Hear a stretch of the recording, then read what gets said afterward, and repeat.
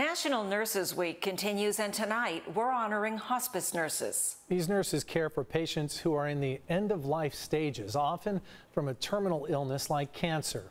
Tonight, our Marcella Lee shares some of the new challenges they're facing during this pandemic. I still remember the hospice nurse that cared for my dad five years ago as he was dying of cancer.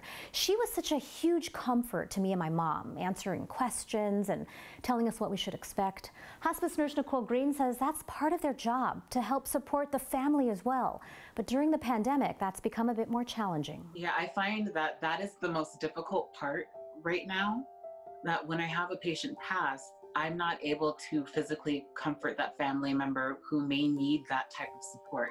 As a hospice nurse, Nicole Green often becomes quite close to the families of her patients. You're in such a personal, intimate part of their life when it comes to end of life. But with restrictions on visitors and many families unable to travel, Nicole is now connecting families with their loved ones through an iPad or phone. Means even if the patient's not responsive, we'll still, uh, I'll put the family member on speakerphone or we'll do a FaceTime um, chat so that the family member can see the patient. And she has sat with patients, comforting them during those final hours through their final breath. Whether it's with touch, um, reading to them, humming a song, playing music that they like, uh, just being present with the patient and knowing that you're providing them that comfort or peace that they may need before they pass. Nicole works for Unicare Hospice and also has patients being cared for at home.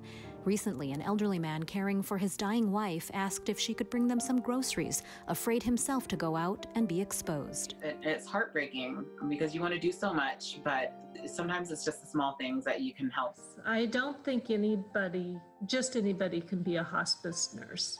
I think it's a special calling. I think it's more than a job.